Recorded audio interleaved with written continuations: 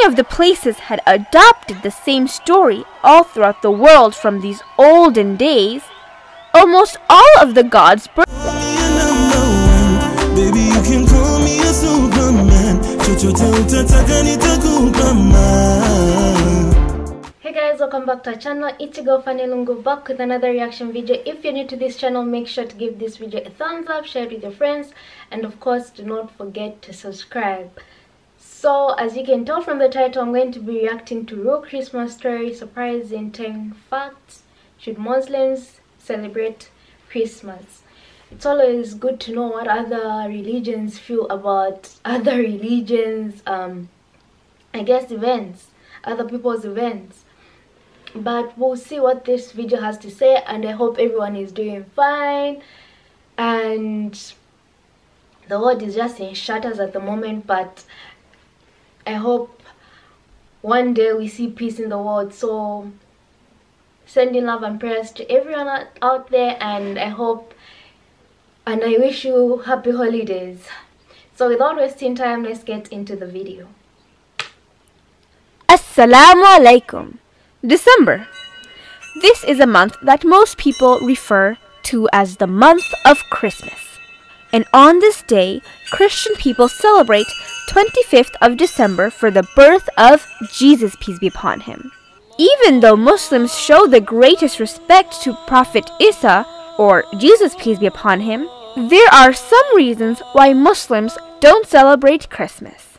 So here are 10 facts about Christmas, starting off with the importance of the date, December 25th. Fact number 1. From the beginning of time, people were excited about the powerful sun, moon, and the stars. At one point, Shaitan convinced some of the people to believe in those sun and moon and the stars as their god. So they started to worship them. Later, some of the smart people started to learn more about the sun, moon, and the stars, and their movement throughout the year. Finally, they discovered that during December, the daylight became shorter and shorter, and December 21st was the shortest daylight of the whole year. So, Shaitan convinced the people that on that day, the sun died. For the next three days, the length of daylight did not change up until when the day of December 25th came. The daylight began to get longer again. From that date, so Shaitan convinced the people that after three days and three nights, the sun got its life back on the 25th of December. And some of the bad people started to believe in Shaitan and started to celebrate December 25th as the sun's birthday. Fact number two. During those olden days, the people who believed in the sun and the moon as their gods had three main figures for their worship the Father, Mother, and the Son. They believed that the Father was the sun, which was their god, the Mother as their moon, which was the god's wife, and for the sun, it's interesting. They thought when God wanted to come into this world to help the humans, he had to go into his wife's belly so that his wife could become pregnant. The God stayed in his wife's belly for nine months, and after he came out from his wife's belly as a little helpless baby. So they thought that that baby was the son of God which was also the main god, in a human form. Once the baby grew up, he was unfortunately killed in his young age. But after three days and three nights, he was born again and said hi to his people, and then left the earth and went to the heaven. Fact number three. Throughout different places around the earth, somehow the people worshipping this idea of a god going inside the wife's belly and coming out as a little baby became a common concept in several parts of the world. However, they used different names. In India, they use different names along with places like Egypt, China, Japan, Greece, and Rome as well. In Babylon, the mother's name was Ishtar, and the son's name was Tammuz, and his father was Nimrud. Fact number four. Since many of the places had adopted the same story all throughout the world from these olden days, almost all of the gods' birthday became December 25th. Fact number five. Historians say that all of these crazy ideas of worshipping the sun and moon came from Nimrud and his wife. It was the time during Prophet Ibrahim, peace be upon him, and the bad king Nimrud claimed that he was the sun and the people's god. One time he even argued with the Prophet for that. You can find the story in the Quran, Surah Baqarah, verse 258. Fact number 6. After Numrud was killed by his enemy, Numrud's wife started saying that, that Nimrud did not die and he had returned to his own place, which was the sun. He started to say that from that point his name would be Baal, or known as the sun god. Later, when she gave birth to a son, Tammuz, that her husband Nimrud was reborn as a human god to save the world. And his birthday was also on December 25th. Fact number 7. Now, you might be a little confused since this video was supposed to be about Christmas and why Muslims don't celebrate it. But the point is that Christmas falls under the date of December 25th. So far, everything that we have discussed were collected from Christian historians and researchers. And even they say that they don't know the real birthday of Prophet Jesus, peace be upon him. Some historians say that Isa, or Jesus, peace be upon him, was born in April, while others say he was born in August. But almost all of the Christian historians agree that Jesus, peace be upon him, was not born on December 25th. So then, now we need to know why it is that people are celebrating his birthday on December 25th in the first place. Fact number 8. A long time ago, the Romans used to celebrate an evil festival that was a week long, and it was around the time of December 25th, and it was for their sun god Saturn. Around 400 years after Jesus, peace be upon him's birth, Christianity began to control most of Europe. The priests did not like that the Romans were doing this evil festival, so they made a plan to stop the evil festival. The Christian priests created a false birthday for Jesus, peace be upon him, so that the people wouldn't be celebrating the festival for their sun god Saturn. They made it so that the festival would be for the Son of God, Jesus, peace be upon him. Ordinary people just wanted to have fun and enjoy their time. For them, it was not a big deal whose birthday they were celebrating. And that's how Christmas started to be celebrated on the 25th of December. Day by day, this newly created festival turned to be a crazy and violent festival. For thousands of years, it was a very scary festival.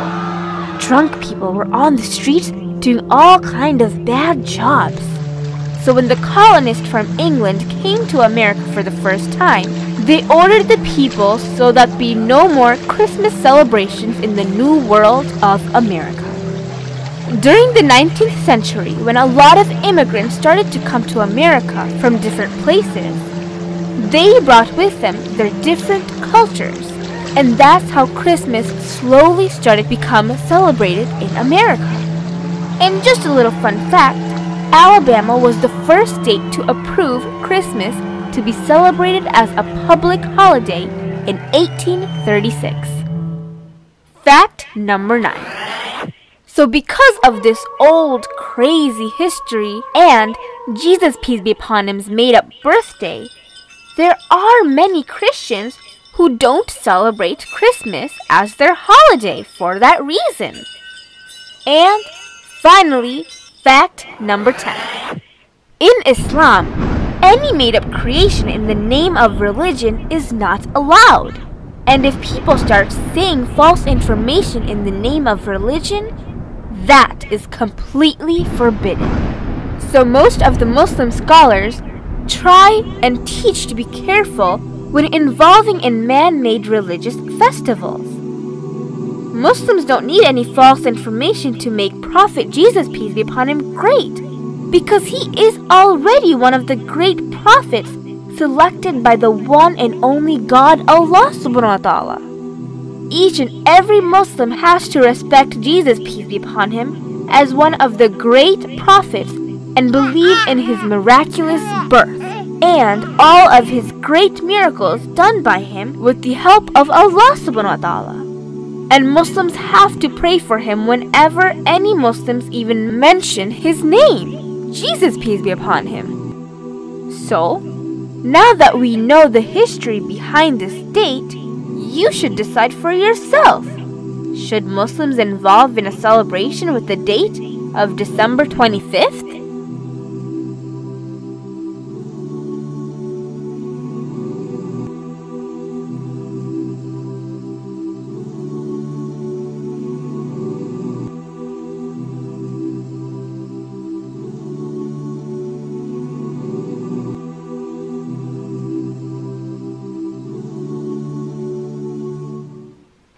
The narrator said the video itself was quite um confusing.